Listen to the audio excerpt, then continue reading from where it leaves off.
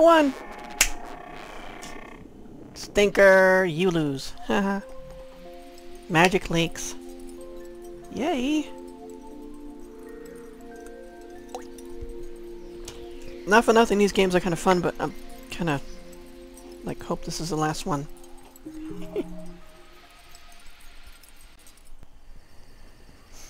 Got it.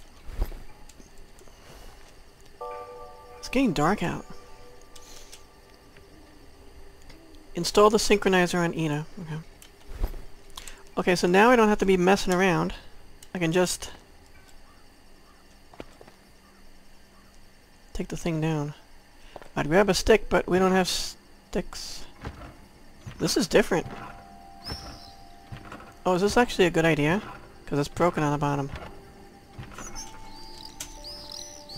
I tried to jump. And failed. Where's the way out again? I know why there was so little information about me. This is that thing. August 15th was my first workday at the Gerbera Garden. I had come here for the first time with that group of kids, and the explosion occurred two hours later. Oh. It wouldn't let me put it in there. See, there's something about this.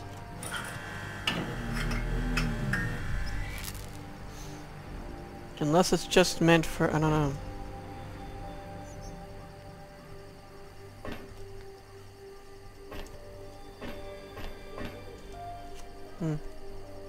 I see it. Glad I got that stick. Oh. That was E, not W.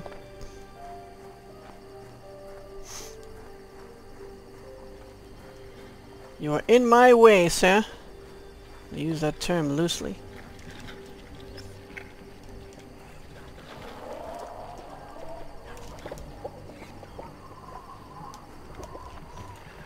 Oh, I threw it! Oh. I mean, I dropped it. I was supposed to throw it. Fail! I'm holding it. Press the wrong mouse button, damn it. Take my stick. Can't get me on here, right?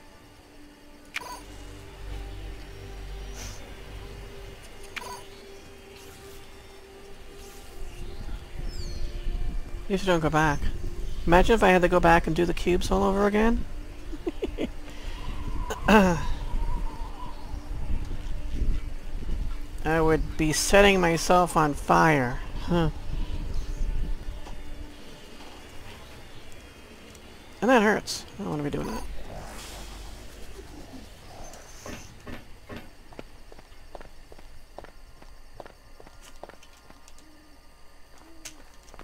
You have quite a jump. This is kind of a little path through. Well, glad we did it, and not glad we have frame rate hits, and... Okay. Yup. Well, it's definitely a super moon, if I ever saw one. There's a flashlight inside. I wonder if we'll be needing that soon. Now, there was something that mentioned don't be out of the light. I don't know if that pertains to me, or her, or what. Did you bring it? I did. Hold on while I replace it. I'm guessing it goes in there.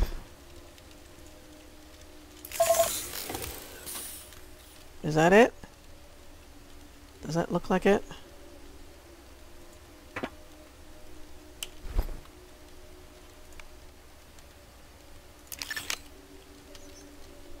Okay, I guess so. Uh.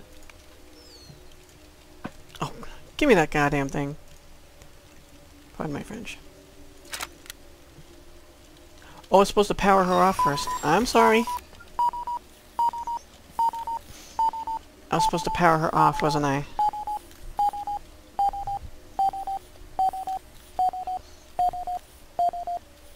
Panic attack.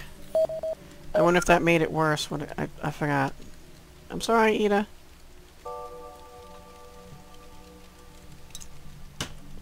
Talk to Ada, right? Yeah.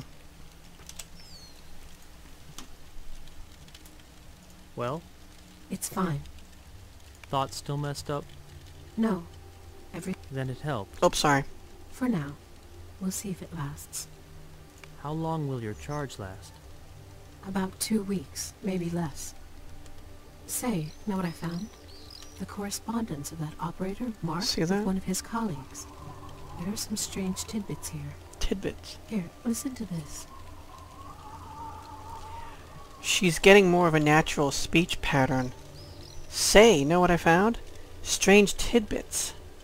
Here, listen to this. She's speaking more like a normal person at this point. As time goes on. It doesn't really interest me. Don't be a jerk, you know? To be honest, it doesn't really interest me. I can't choose anything Wait, else. this is important. It's about your parents. Well, now it interests me. What? Your parents. And me as well. Here, listen. It's a work correspondence. They're talking about research into memory transfer between people using telepathy. Telepathy? You heard her. That's what it says here. They're discussing telepathy and also mention some kind of side effect. They refer to it as MPR0, the MPR0 effect. And what of it? What is it?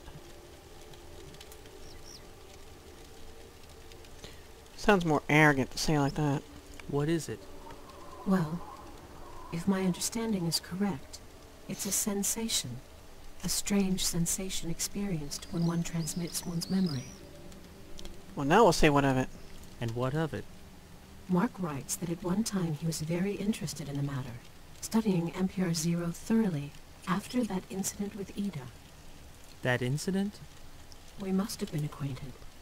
Even though I remember nothing about Mark or any unusual effects. And I cannot imagine what incident he's referring to.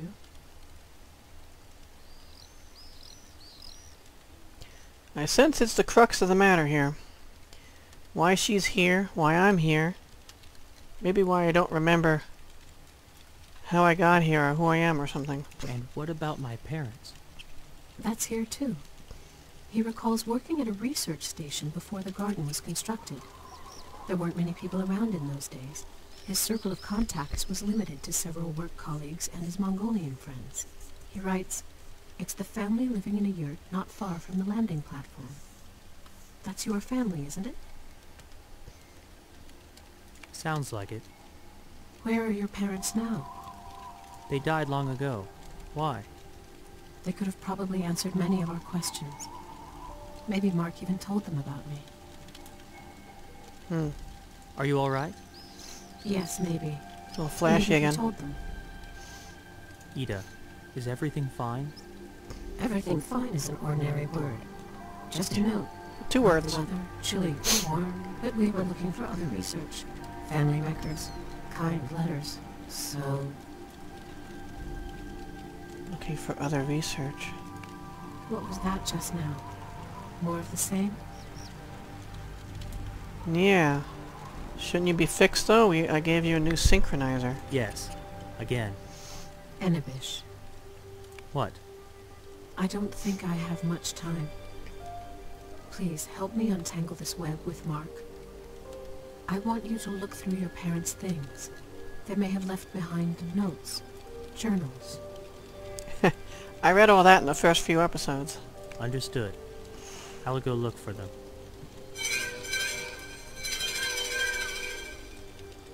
Tabaha is here.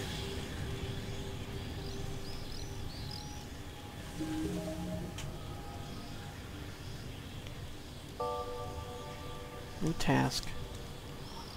Only your parents might know what connected Ada and Mark. Find their personal belongings. Question Tabaha. Okay, I guess we're gonna question Tabaha first. Did you find anything? Not yet. Still looking. Hurry. I'll be disconnected soon. We'll get you back online. No, you won't. Waking from a coma is impossible. But you can try and shock me with electricity. Huh. Why? Will that bring you back to life? It won't. but it might switch me on. If we're lucky, it would give us a few minutes to talk, A few minutes? And then what? and then I will cease to be. Huh? I don't want that. Alright, let's go talk to him.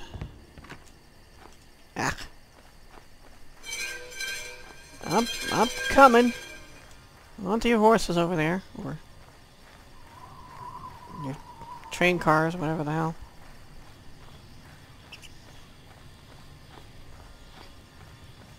I require information. Information.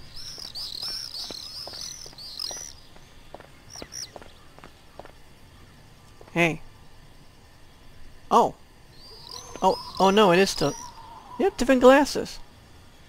Those are different glasses. And a different hat? Looks like it'll rain. Rain? Today? There'll be rain and thunder, and it'll sweep all profiteers into a ditch. What happened? You got any idea how much the search cost me? The search cost you. No. How much? One and a half. One and a half of what? Is that a lot? Well, when and buying Hungor has the internet ever cost one and a half? I'll pay you back. I won't take money from your destitute self. Uh-huh. All right. Thanks. The information was paid for and delivered by a personal courier. Very nice. So, what did you find out? Well, first of all, the Gerbera Garden was never about entertainment. No one's gonna talk about how he looks different? And maybe this is his night garb, I don't know. It was a hospital, I know. But what happened to it? The kids were all patients, yeah? Yeah? One of them had his container overflow. The Passium exploded. That's what happened. That's all? Hold your horses. The story ain't so simple. Think. A person gets his body replaced and blows up minutes later. You might ask, how could they not have checked the container? Turns out they did check, and the container was empty. And yet, 15 minutes later it up and explodes. In other words, the capsule filled and overflowed rapidly. Pretty much instantly in point of fact.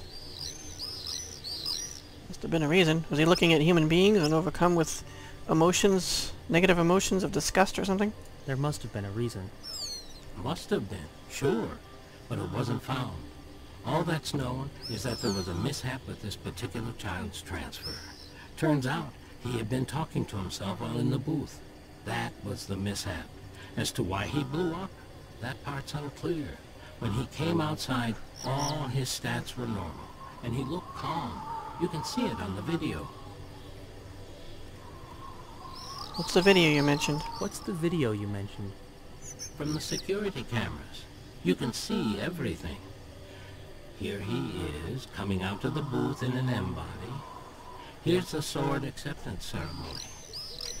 Here he is, getting off the stage and heading into the garden.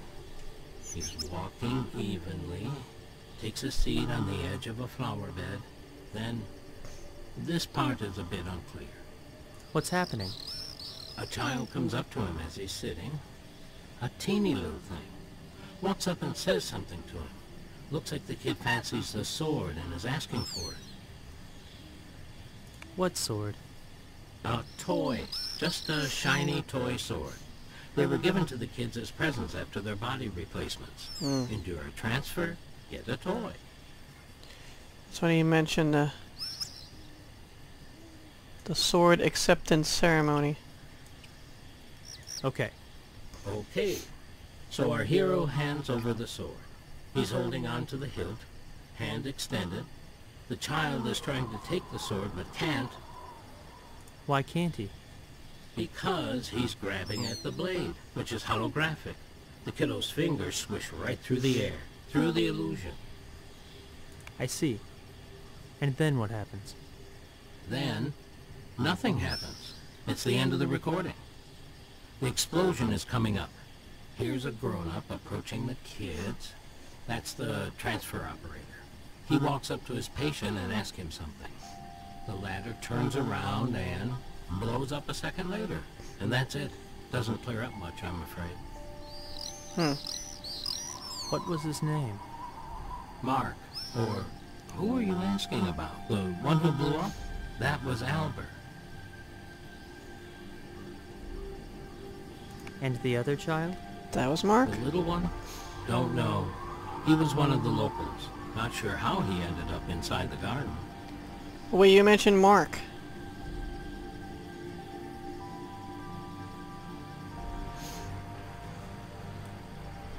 Uh, Have fun with your little mystery now, but I'm off. see you tomorrow? I don't know. It might be three, four days, maybe a week. We'll see. All right, take care now. Don't get caught in the rain. Hold on Tabaha. I've got one more question. I told you everything I know about this garden. I've got nothing else. It's not about the garden. It's about my parents. Yeah, tell us, damn it. I wanted to remember something about my parents. Here. Yeah, what is that? What's this? A key to the drawer of your Grandpa Bachin's bedside table. That's a key? Oh, it must be that electronic lock or something that we couldn't get into. Where did you get it? Botchin left it to me. He said that if ever you asked me about your parents, to give you this key. So, that's what I'm doing. And I don't know nothing else. Goodbye. Seriously. You're not going to give us the key unless we specifically ask? Sheesh. Goodbye, Baja. Wait, let me have this. I'm not taking that. Sir Bachin's bedtime, bedside table. Okay, cool. Laters. Oh, didn't mean to do that.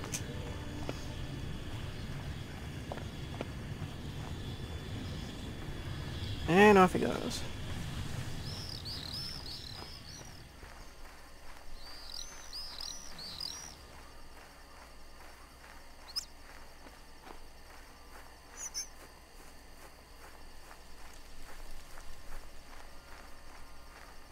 Alright.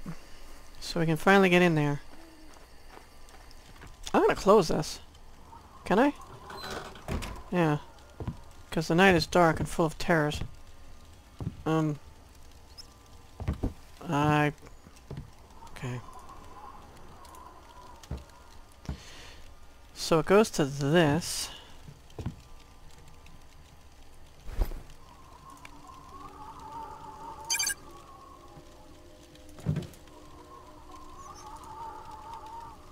Flashlight attachment. Oh, cool. I know where the rest of the flashlight is. It's over here somewhere.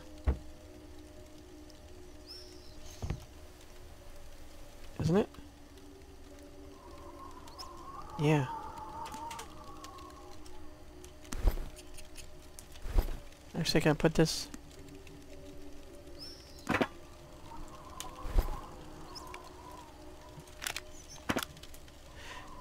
The attachment fits this flashlight, but I don't need it right now. Well, we're gonna need it soon.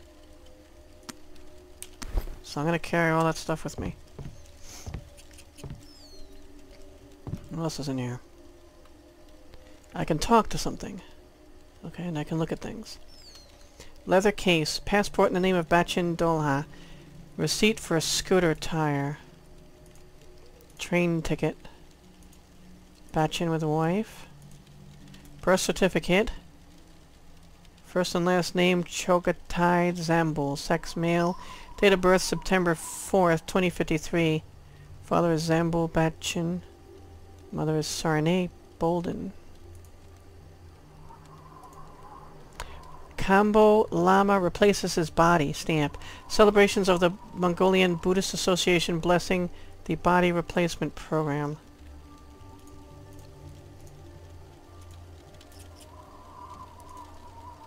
Extinct insects stamp.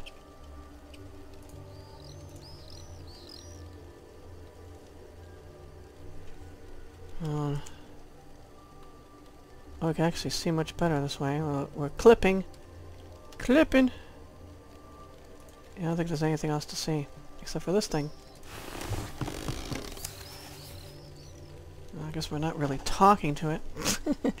Grandpa Bachin's journal. On the inside are several brief notes. The two pages split by the bookmark are dense with text. There's a message for Enebish. I'm going to read all the entries. 8-1858. Well, well. Now the home of my son is empty. So fate has decided. I'm not complaining either. Providence knows best. All that's left for me is to pray for them. I'll head out in the morning. It's over 200 miles. Better not forget a gas canister. It'll be dark when I get there.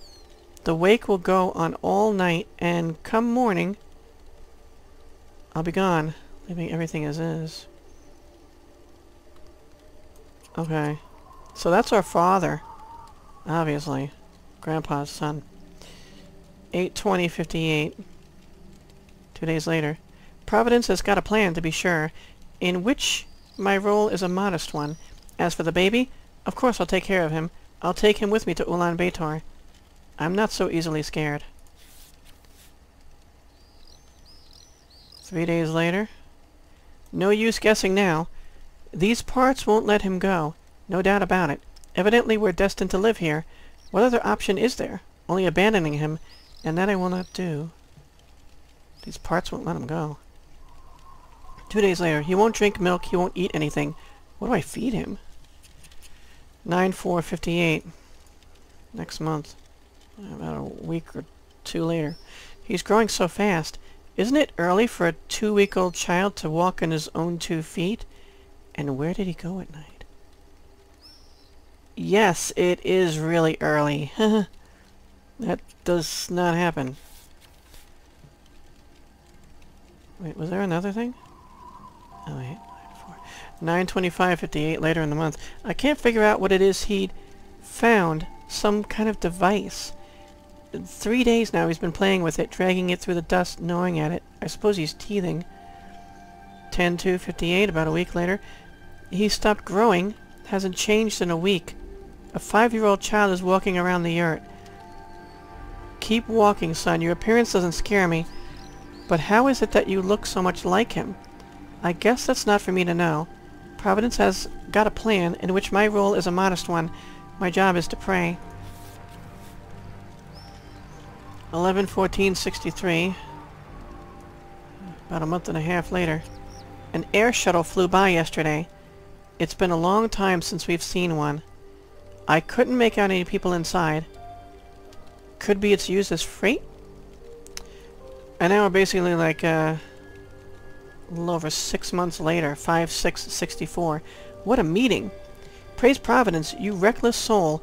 If it weren't for Enebish, you Tabaha would still be lying in that flower bed. But it's a solid money-making idea. The passage is free, which is always good. The tires on a scooter won't need replacing. I'm gonna sell it.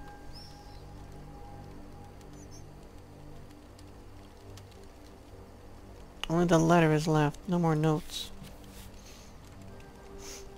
Enebish, if you're reading this letter, that means your curiosity has led you into the past, to your forebears.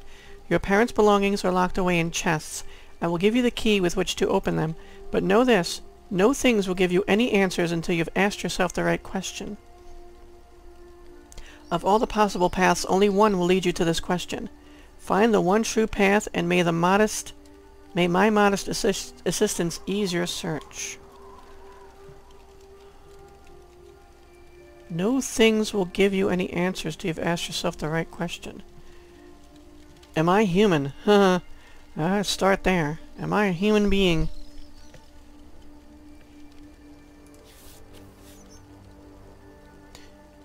You will need a ray of phantom light to illuminate your path, and a wise clue to make the right decision at a crossroads. In this drawer lies a rounded object. Use it to obtain the ray of light. Right, I gotta put it on the flashlight. I just couldn't do it, but now I'm gonna miraculously be able to do it. You watch. It's gonna happen. In the, a book of wisdom you'll find a clue. Then go to my grave, stand on the largest stone, and take a look around using the ray of light. Look carefully and you will see the spot from which to begin your path. A clue and a ray of light. I'll try to find them.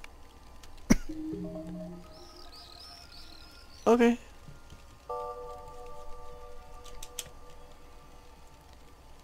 Fix an attachment to the flashlight.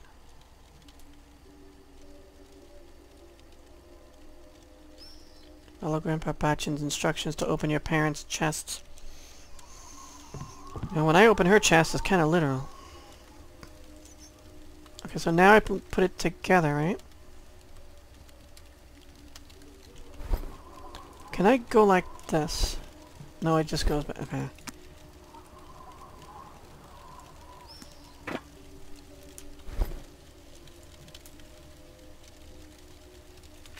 Now miraculously I can do it.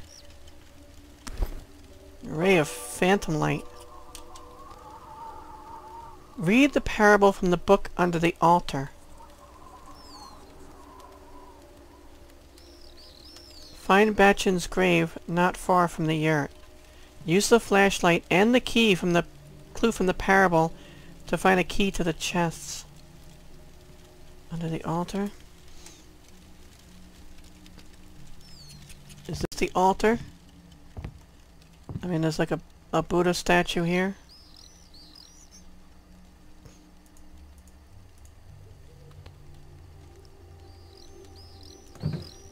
This?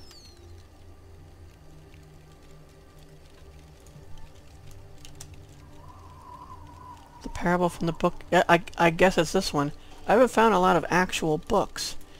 Pure white flame burns so brightly out in the field amidst the stones I stared as a pair of wooden poles. The grave must be nearby.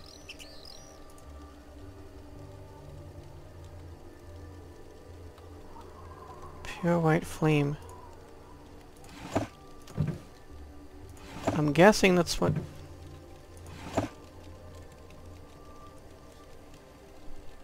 I'm guessing that's the... I don't know, a pure white flame burns so bright, blindingly it hurts to hold, be, behold it. Pure white flame. Did you find anything? Not yet. Still looking. Hurry. I'll be disconnected soon. Hang on. Okay. Good thing is, I know exactly where that is. Oh. Can I take some... Take some sticks because the night is dark and full of terrors. I wouldn't doubt that these things come out when it's dark. It's around here somewhere. I don't think it's that near the the the pond. It's here. I'm supposed to stand here on the highest rock. Oh.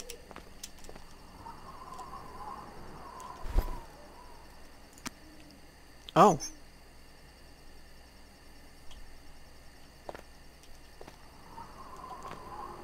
Pure white light. It was supposed to go that way then.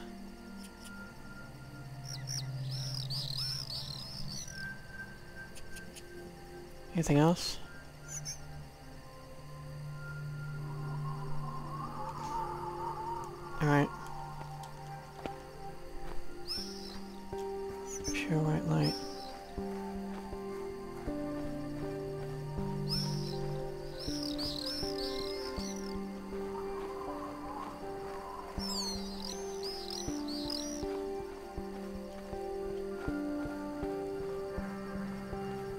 Did I miss something?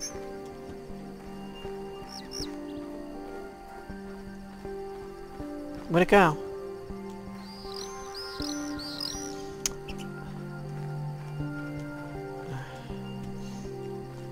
It's more like this way, isn't it?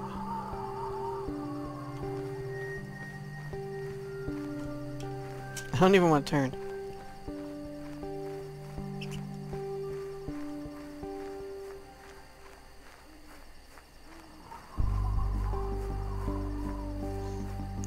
Um, I haven't seen any more.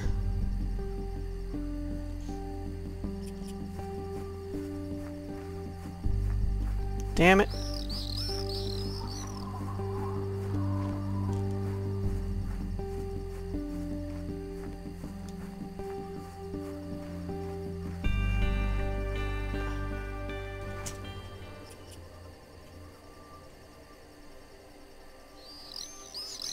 What's that?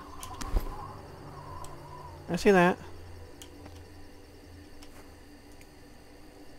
The Ugly Children of the Universe.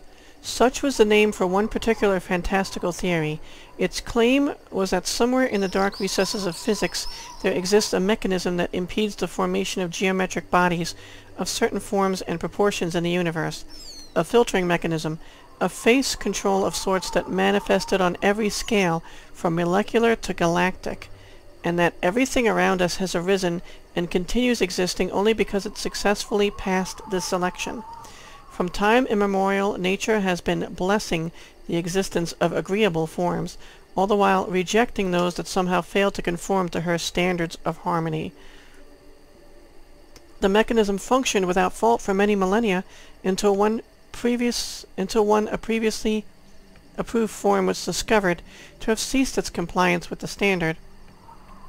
Once filled with tender love toward her creature, nature suddenly saw that it was ugly, and her tenderness turned to disgust. Deep in the bowels of the universe, a load of repulsion toward the queer, improper form was gathering strength.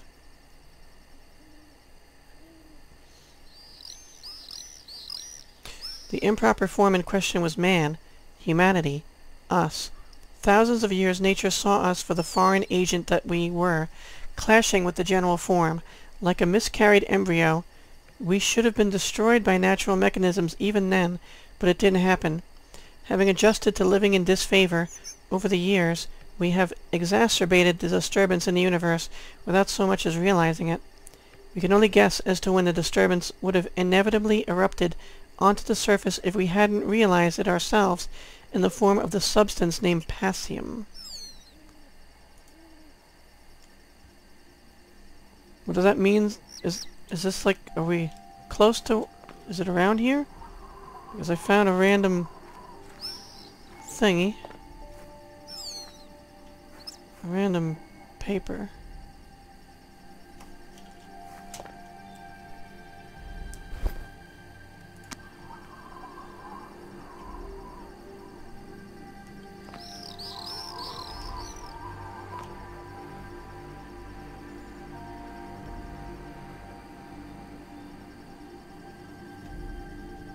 Like, I almost didn't see that.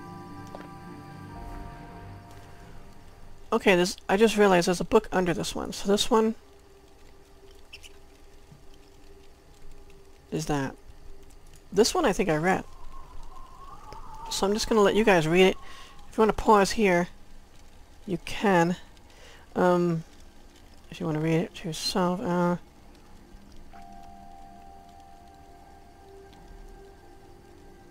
If you don't know where to go, go toward the light. To the east, rays of the rising sun were filtering through the tree trunks. I did read this. Headed toward the light. The sun guided her path that entire day, but then evening came and it hid behind the horizon. The moon arose, and the girl halted, and then started after the moon. But come morning, the moon melted from the sky, replaced once more by the sun, so then she turned toward the sun. Six days and six nights. Until she reached a meadow flooded with a phantasmal light. Buddha was listening to music.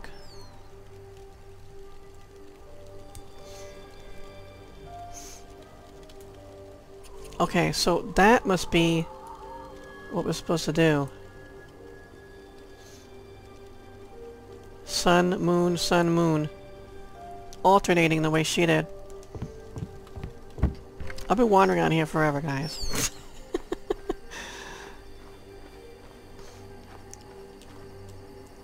Be grateful for me, because, wow, this is annoying.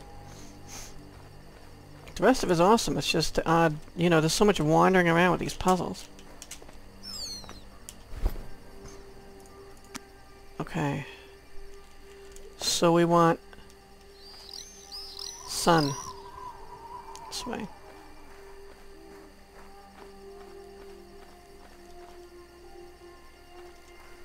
Now we want... Let's back up, make it easier.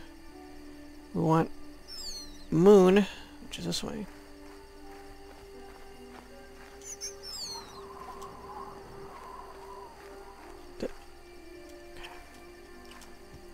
Sun. Hold up. Make sure I'm lined up correctly. Sun again, this way.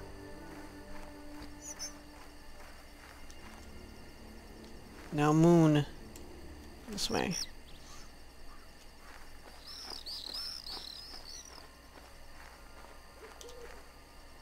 Sun. This way.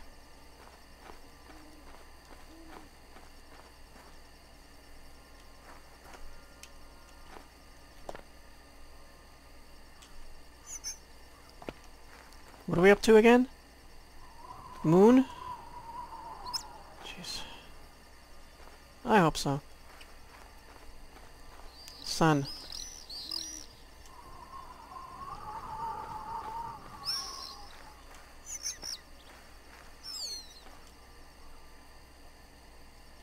Jeez.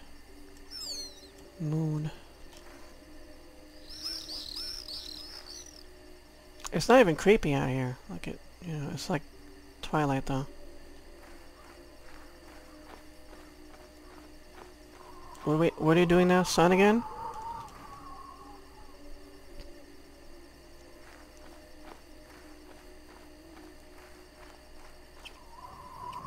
Moon?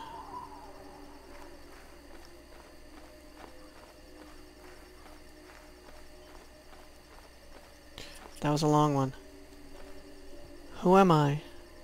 That must be the question I've been looking for.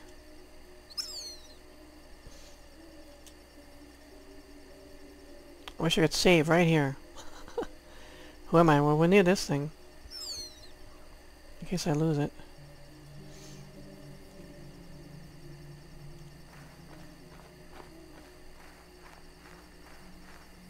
Oh, what's this?